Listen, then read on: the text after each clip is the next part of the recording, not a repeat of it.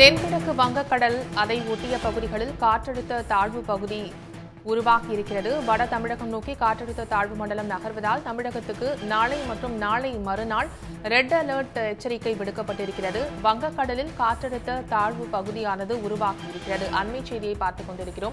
காற்றழுத்த தாழ்வு பகுதி முப்பத்தாறு மணி நேரத்தில் காற்றழுத்த தாழ்வு மண்டலமாக வலுப்பெறும் என்று சென்னை வானிலை ஆய்வு மையம் தெரிவித்திருக்கிறது. தென்கிழக்கு வங்கக்கடல் அதை ஒட்டிய பகுதிகளில் காற்றழுத்த தாழ்வு பகுதி உருவாகியிருக்கிறது. இதனையடுத்து வட தமிழகம் நோக்கி காற்றழுத்த தாழ்வு மண்டலம் மண்டலம் நகரும் என்றும் தமிழகத்துக்கு நாளை மற்றும் நாளை மறுநாள் ரெட் அலர்ட் எச்சரிக்கை விடுக்கப்படுவதாகவும் வானிலை ஆய்வு மையம் தெரிவித்திருக்கிறது. வங்கக்கடலில் காற்றழுத்த தாழ்வு பகுதியானது உருவாகியிருக்கிறது. முப்பத்தாறு மணி நேரத்தில் காற்றழுத்த தாழ்வு மண்டலமாக தாழ்வு பகுதி வலுப்பெறும் என்றும் அறிவிக்கப்பட்டிருக்கிறது. தென்கிழக்கு வங்கக்கடல் மற்றும் அதை ஒட்டிய பகுதிகளில் காற்றழுத்த தாழ்வு பகுதி உருவாகியுள்ளது.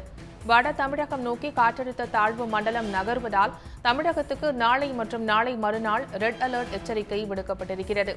வட தமிழகம் நோக்கி நகரும் காற்றழுத்த தாழ்வு மண்டலம் சென்னை கடலூர் இடையே காற்றழுத்த தாழ்வு மண்டலமாக வலுவிழக்கும் என்றும் தெரிவிக்கப்பட்டிருக்கிறது. இரண்டு நாட்களுக்கு தமிழக கடலோர மாவட்டங்களில் மழை பெய்யும் என்றும் வானிலை ஆய்வு மையம் அறிவிப்பு வெளியிட்டிருக்கிறது. வங்கக்கடலில் காற்றழுத்த தாழ்வு பகுதி உருவாகியிருக்கிறது. அடுத்த முப்பத்தாறு மணி நேரத்தில் காற்றழுத்த தாழ்வு மண்டலமாக காற்றழுத்த தாழ்வு பகுதி வலுப்பெறும் என்றும் தெரிவிக்கப்பட்டுள்ளது. கூடுதல் விவரங்களை செய்தியாளர் விஷ்ணு பிரகாஷிடம் கேட்கலாம். விஷ்ணு பிரகாஷ் சென்னை வானிலை ஆய்வு மையத்தின் அறிவிப்பு குறித்து விரிவா பதிவு செய்யுங்க விஷ்ணு பிரகாஷ். வணக்கம். அஹ், சென்னை வானிலை ஆய்வு மையம் அஹ், வங்கக்கடலில் அஹ், இருக்கக்கூடிய மேலடுக்கு மேலடுக்கு சுழற்சியின் காரணமாக இன்று ஒன்பதாம் தேதி புதிதாக ஒரு காற்றழுத்த தாழ்வு பகுதி உருவாகும் என்று இரண்டு நாட்களுக்கு முன்னதாக அறிவித்திருந்தது. நேற்று இரவு அறிவித்திருந்ததன் அடிப்படையில் அடுத்த பனிரெண்டு மணி நேரத்தில் அந்த காற்றழுத்த தாழ்வு பகுதி உருவாவதற்கான சாதகமான சூழல் இருப்பதாக சென்னை வானிலை மையம் தெரிவித்திருந்தது. தற்பொழுது அந்த கிடைத்திருக்கக்கூடிய தகவல்களின் அடிப்படையில் வங்கக்கடலில் மேலடுக்கு சுழற்சியின் காரணமாக புதிதாக காற்றழுத்த தாழ்வு பகுதி என்பது உருவாகி இருக்கிறது இது தமிழக கடற்கரை ஒட்டிய வட தமிழக வங்கக்கடல் பகுதியில் நிலை கொண்டிருப்பதன் காரணமாக இந்த காற்றழுத்த தாழ்வு பகுதி என்பது அடுத்த முப்பத்தி ஆறு மணி நேரத்தில் மேலும் வலுப்பெற்று காற்றழுத்த தாழ்வு மண்டலமாக மாறுவதற்கான வாய்ப்புகள் அதிகமாக இருப்பதாக சென்னை வானிலை மையம் தெரிவித்திருக்கிறது. இதன் காரணமாக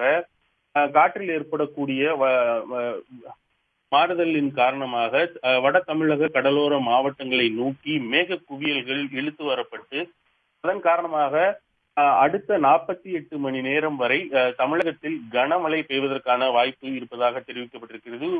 தமிழகத்தின் பெரும்பாலான இடங்களில் கனமழை பெய்யக்கூடிய சூழலில் ஒரு சில இடங்களில் அதி கனமழை பெய்யக்கூடும் என்று சென்னை வானிலை ஆய்வு மையம் தெரிவித்திருக்கிறது.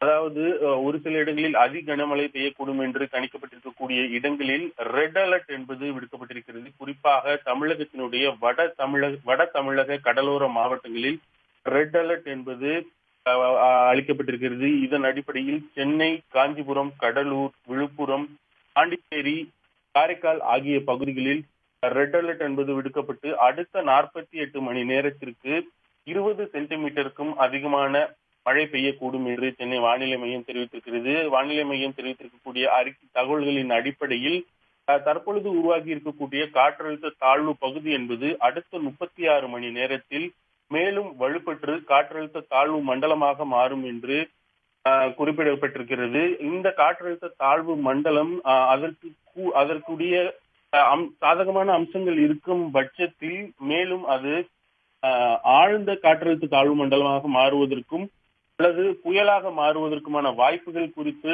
நாம் வானிலை மைய அதிகாரிகளிடம் கேட்ட பொழுது அது தொடர்பாக தற்பொழுது எந்த விதமான முன்னேற்பா முன்னெச்சரிக்கை அறிவிப்புகளும் நம்ம மாநில வானிலை மையத்திடம் இல்லை. ஆனால் தொடர்ச்சியாக அவற்றை மின்சார் செயற்கைக்குள் மூலமாக கண்காணித்து வருவதாகவும் ஆனால் இந்த காற்றழுத்த தாழ்வு பகுதி புயலாக மாறுவதற்கான வாய்ப்புகள் மிகவும் குறைவாக இருப்பதாகவே சென்னை வானிலை மையம் தெரிவித்திருக்கிறது.